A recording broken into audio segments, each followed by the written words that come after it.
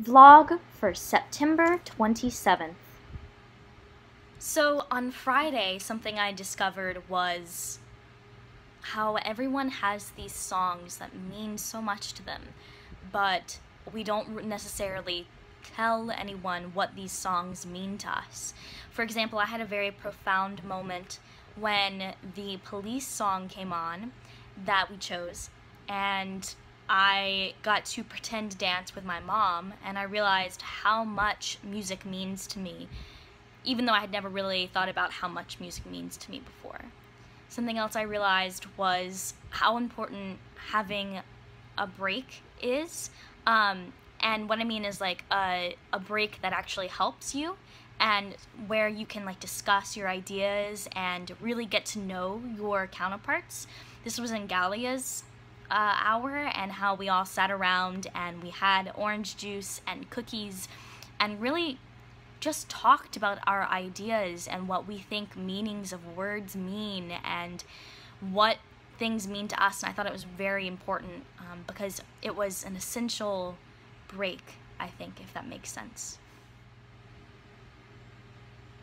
If I were to become a refugee, I wouldn't know where to start how to pack for that because I live such a privileged life to have so many objects in my life that I think that are important. But I think that if I had a suitcase, I would definitely pack um, socks and underwear and a couple shirts.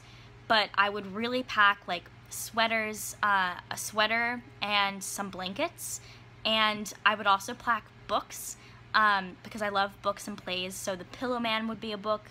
Um, and that's the only one that can come to mind right now, but something to read, something to do. Um, my computer, because I love my computer, um, and I think it's a good source for like writing and and I don't know, I just, I, I always have my computer with me when I move around um, because I do go from house to house um, when I live with my parents because they're divorced.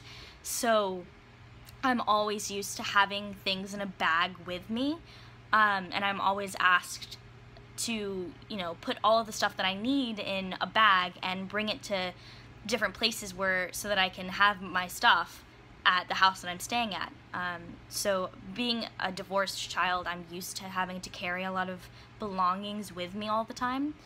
Um,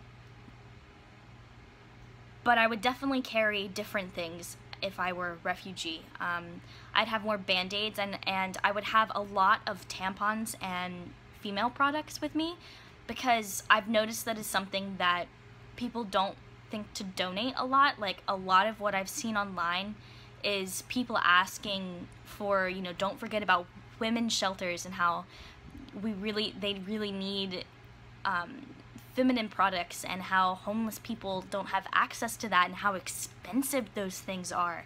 But they're an everyday necessity.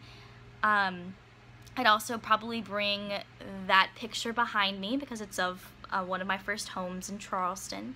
Um, and I would bring a couple stuffed animals um, and some doggy pads for my dog, I guess, if I was living inside, and a couple of his toys, um, and maybe a small fan and a flashlight, definitely, and batteries. And if I could somehow, like, put gasoline because gasoline's really important and it's very expensive and hard to find in emergencies like when there's a hurricane that's the first thing you do um, water I would bring lots of water with me um, and lots of food like any of the food that can be reusable um, and not you know not run out of quickly. So like I can eat a lot of pasta um, or canned goods um, things that wouldn't go bad very quickly. If I only had a book bag to carry with me, I'd definitely put Feminine products in, um, and a notebook, and a couple pens, as well as pictures, definitely, more than just that one, but pictures of my family and of my friends and of my animals, um, and a blanket and a sweater, and band-aids and water, and maybe some food if I could fit it in. Thanks for listening.